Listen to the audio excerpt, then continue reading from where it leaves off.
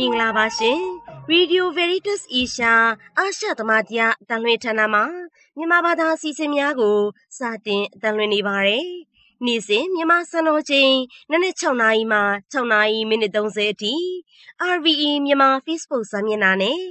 RVE မြန်မာ YouTube Channel တို့မှာအတန်လွှင့်ပေးနေပါတယ်ရှင်။တော်တာရှင်ဓမ္မမိတ်ဆွေ RVE fan များအားလုံးဖျားရှင်ရဲ့ကောင်းချီးမင်္ဂလာကျေးဇူးတော်များခံစားရပါစေကြောင်း RVA မြန်မာဝိုင်းတော်သားများအားလုံးရေကိုစားကျမ Sister Lucia တနအောင်ကနှုတ်ခွန်းဆက်ပါတယ်ရှင်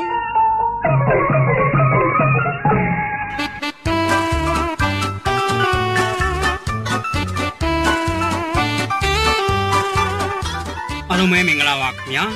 မွေးနေဓမ္မတေးလက်ဆောင်ကဏ္ဍကိုကျွန်တော်ဂျွန်ဝင်းစော်ထွန်းကနေတင်ဆက်ပေးသွားမှာဖြစ်ပါတယ်ဒီကနေ့ဇူလိုင်လ3ရက်နေ့မှာ ကြရောက်တဲ့မွေးနေ့ရှင်များကတော့ပြည်မနာမြို့မှာဒေါ်ချိုချိုဝင်းရန်ကုန်မြို့မှာစန်ဆန်တောင်ကြီးမြို့မှာမေစုလိုက်မူတောင်ကြီးမြို့မှာပဲဒေါ်ခရစ်စတင်တောင်ကြီးမြို့မှာပဲမောင်ဝင်းယုံကလေးမြို့မှာຫນွေနေမောင်အမ်းမြို့မှာမိုင်ကလေးဆွေမြိတ်မြို့မှာအဲလီဇဘက်ညညိုဝင်းရန်ကုန်မြောက်တကူမန္တလေးလမ်း29ရပ်ကွက်မှာ အီမာနူအယ်ကောင်းဝတန်ညွန်းအမှန်မြို့နယ်ကွဲမှာလာမင်းကလေးမောင်စင်ကျိုးတဲ့သီလရှင်အတင်ကိုင်းမှာစစ်စဲမာတာအမ်ချမ်းသာရွာမှာမအေးတီတာဝင်းခေါ်တီတီမှာခိတ္တစင်ကာပူရောက်ဂိုရစ်နော်လာခူးတို့ပဲဖြစ်ပါတယ်ဒီကနေ့ဇူလိုင်လ3ရက်နေ့မှာကြောက်ရောက်တဲ့မွေးနေ့ရှင်များကြည့်ရှုနားဆင်အပေးနေသူများအလုံးပေါ်ဟာဖျားသခင်ရဲ့ကောင်းကြီးတော်များစတဲ့တဘူတိုး၍ ခံစားရပါစေကြောင်းအဆက်သမားတရားမြန်မာပိုင်းစီတွေမှာဝိုင်းတော်သူဝိုင်းတော်သားများနဲ့အတူကျွန်တော်ဂျုံဝင်းစော်ထွန်းကနေစုမုံကောင်းတောင်ပေရင်တည်တံရှင်တူတူတည်ဆိုထားတဲ့ယေရှုအတွက်ဆင်းသားပါဆိုတဲ့ဓမ္မသခင်ကိုတင်ဆက်ပေးလိုက်ပါတယ်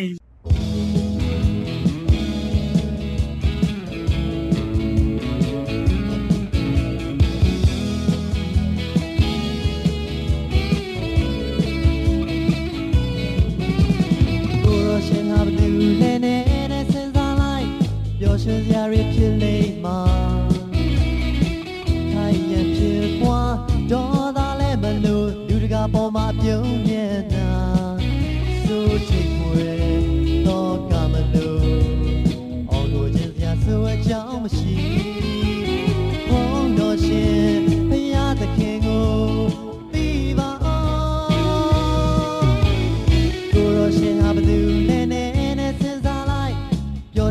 ရွှင်စ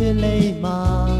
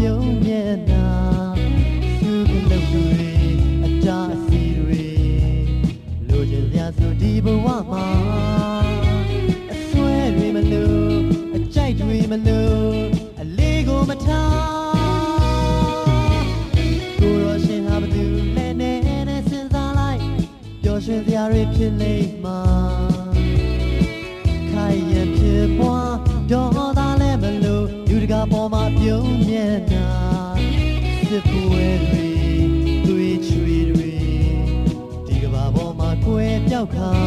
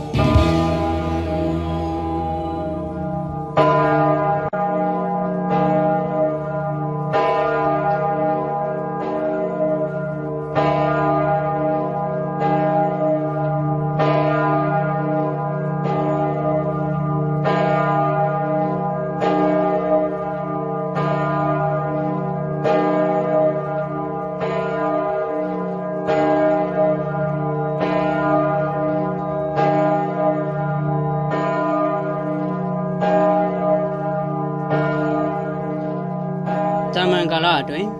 14ကြိမ်မြောက်တနင်္ဂနွေနေ့ရှင်လုကာခရစ်ဝင်ကျမ်းအခန်းကြီး30အခန်းငယ်1မှ7နှစ်ဆက်ခွန်မှ20တိုင်ထို့နောက်ကိုရော်တီအခြားသောတပိတော်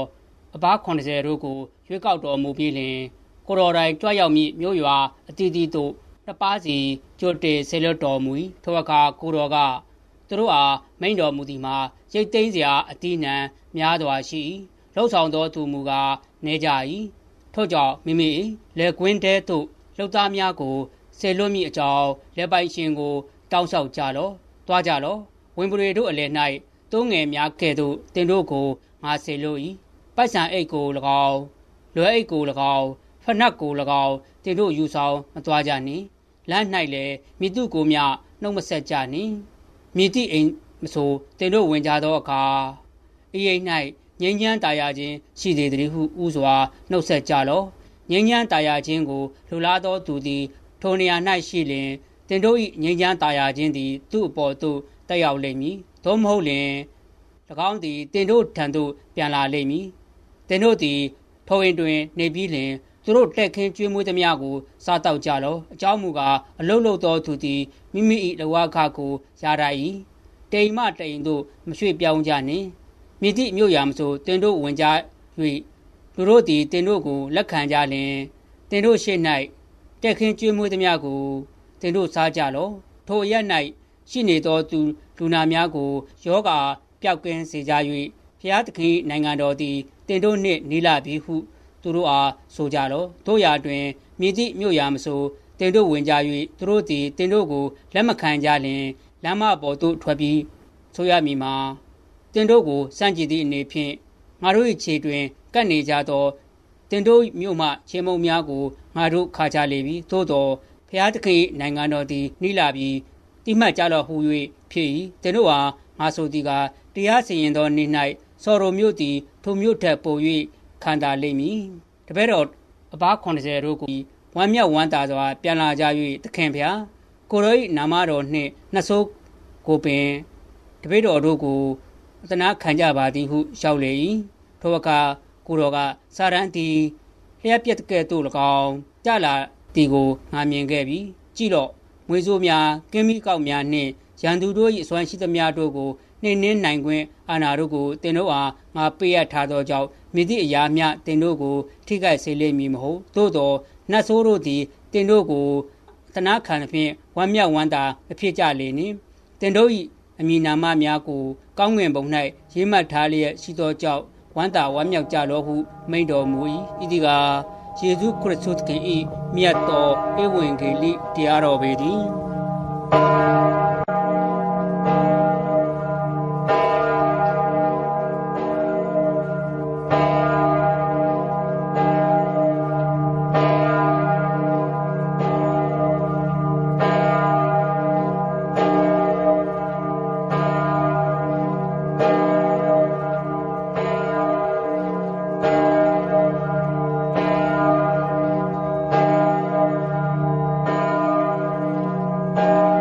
14ချိန်မြောက်တာမန်တနင်္ဂနွေနေ့ဒီနေ့ရှင်လုကာဧဝံဂေလိကျမ်းစာအခန်းကြီး30မှာတော့ရိတ်သိမ်းစရာများစွာရှိတဲ့အတွက်ဘုရားရှင်ရဲ့နိုင်ငံတော်ဟာလက်တကမ်းသို့ရောက်နေပြီဖြစ်တဲ့အကြောင်းကြေညာဖို့မိမိရဲ့တပြည့်နောက်လိုက်များကိုခရစ်တော်ဆီလစ်တော်မူကြောင်းကြားသိရပါတယ်နှုတ်တော်ထွက်စကားတော်ကိုဟောပြောဖို့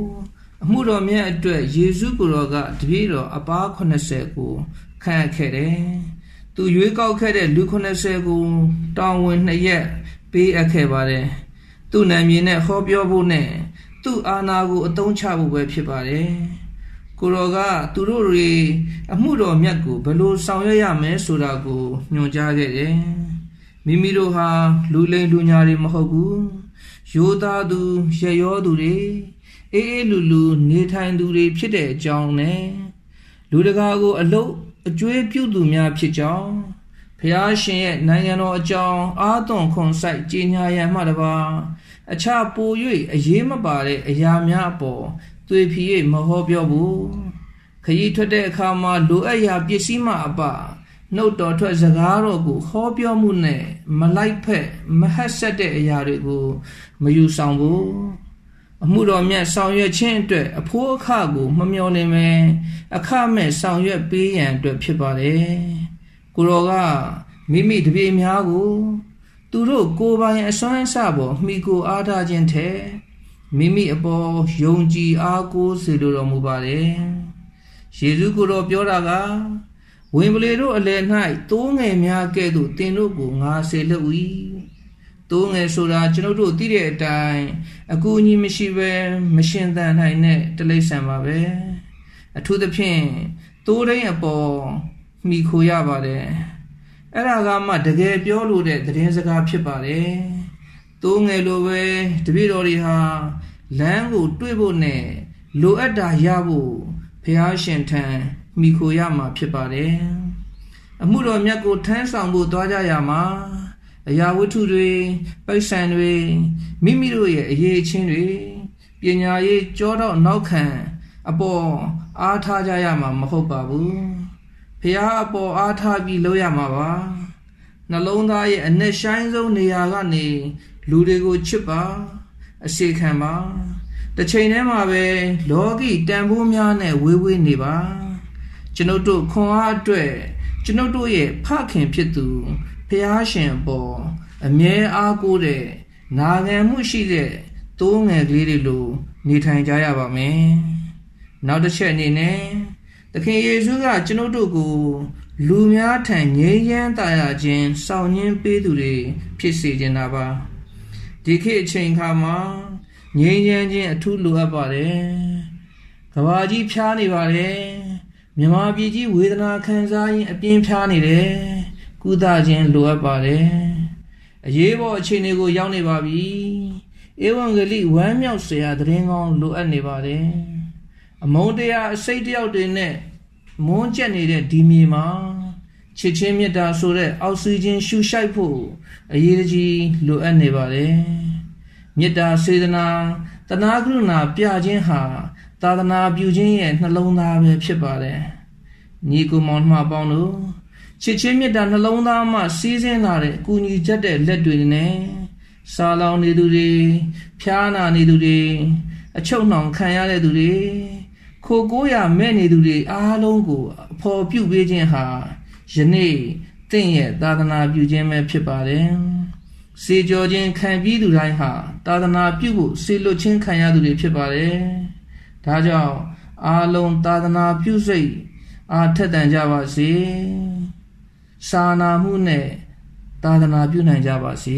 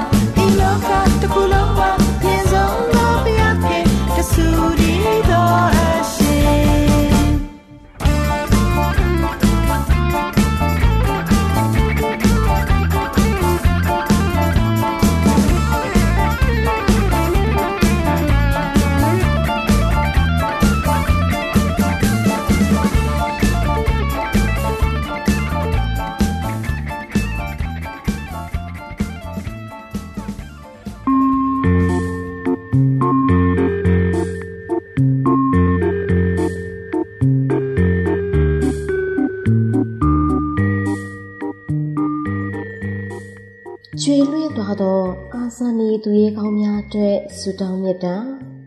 ငြိမ်းချမ်းရေး၏အရှင်ဖြစ်တော်မူသောအိုထာဝရမြတ်စွာဘုရားသခင်တပည့်တော်တို့၏အမိမြန်မာနိုင်ငံတော်ကြီးကို အမြန်ဆုံးငြိမ်းချမ်းသာယာမှုရရှိစေပြီးတရားမျှတစေတော်မူပါငြိမ်းချမ်းရေးအတွက်တိုက်ပွဲဝင်ရင်ကျွေလွှဲသွားခဲ့ကြသောအာဇာနည်သူရဲကောင်းများကို တပည့်တော်တို့ဂုဏ်ပြုကြပါသည် ချီးမွမ်းကြပါသည်ကျေးဇူးတင်ကြပါသည် အများပြည်သူငြိမ်းချမ်းရေးအတွက်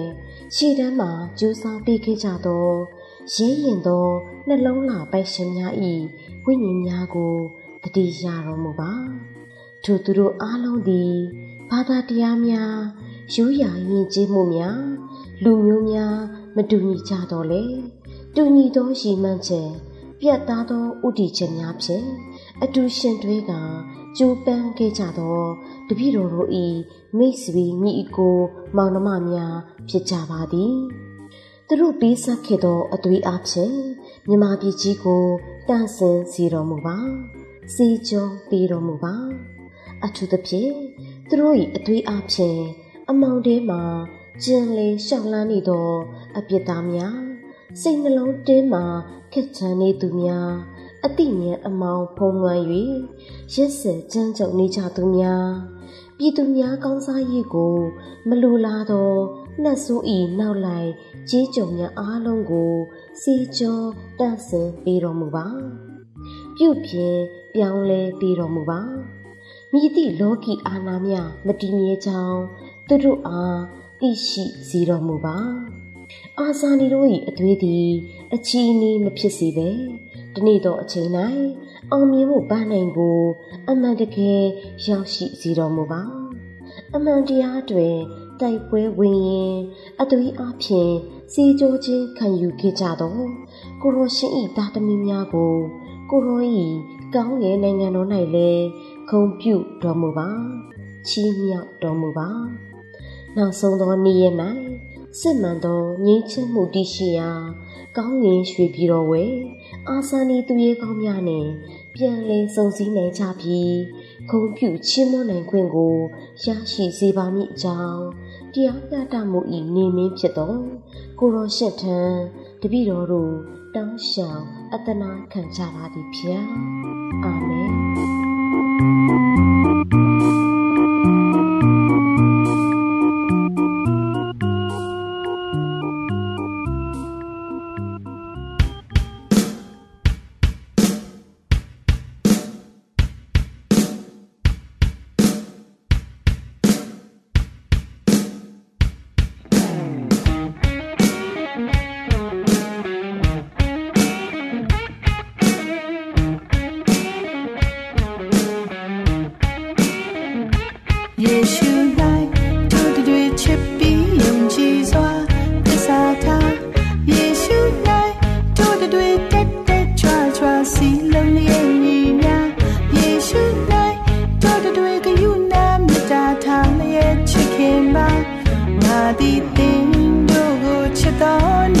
ဤ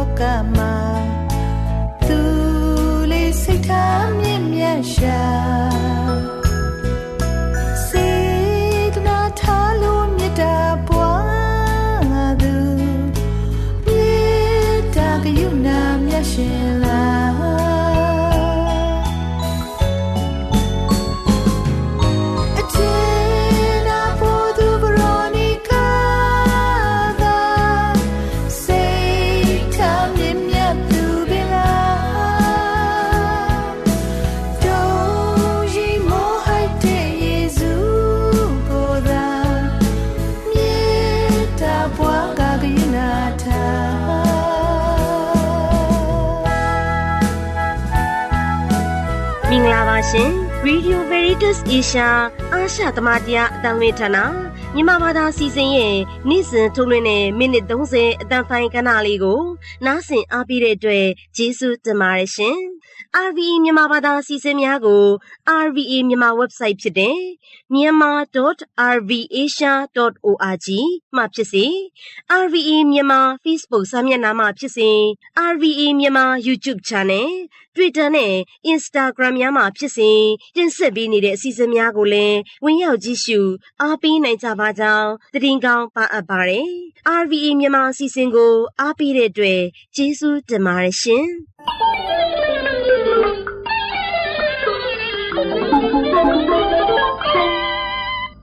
ဤတွင် Radio Veritas Asia အာရှသမတရားအတန်လွင့်ဌာနမှမြန်မာပိုင်းအစီအစဉ်များကိုအတန်လွင့်လို့ပြီးပါပြီ။သောတာရှင်အပေါင်းဖျားရှင်ဤကောင်းကြီးမင်္ဂလာကျေးဇူးတော်များကြွယ်ဝဆုံးလင်းစွာခံစားကြရလျက်အန္တရာယ်ခတ်သိမ်းဘေးရန်ခတ်သိမ်းငြိမ်းကြပါစေ။ဒုက္ခချမ်းသာများနှင့်ပြည့်စုံနိုင်ကြပါစေ